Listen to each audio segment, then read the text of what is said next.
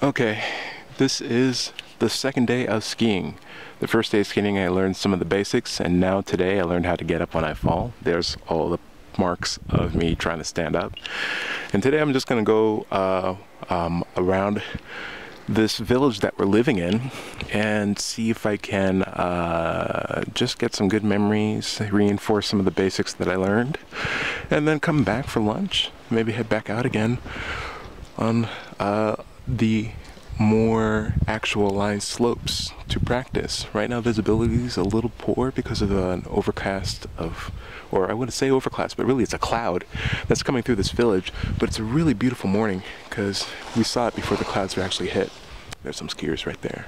So like I said, uh, just going around the village, gonna see if I can find a green route, meaning an easy route uh, down there. And then uh, uh, just take it easy and take some uh, good pictures of these good memories I'm having. All right.